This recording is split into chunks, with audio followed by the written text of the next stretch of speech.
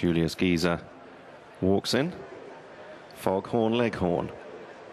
In the hands of Jimmy Fortune, the last for the Julia Graves Roses Stakes. Set. They're off. Five furlongs, Foghorn Leghorn came away pretty quickly. Also sharply away on the far side, Face The Problem. The red jacket absolutely down the centre.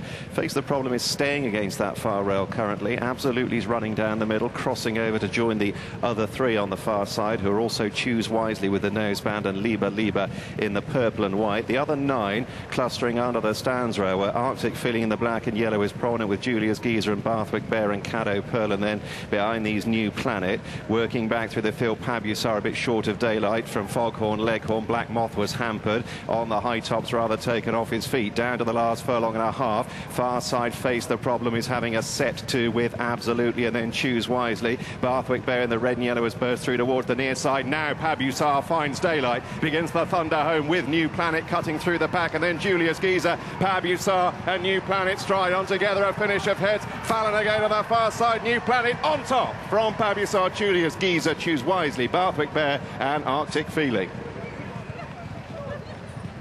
New Planet has won the Julia Graves Roses Stakes for trainer John Quinn and jockey Kieren Fallon, old allies from their time at the Great Master of Malton, Jimmy Fitzgerald, and they've teamed up for success today.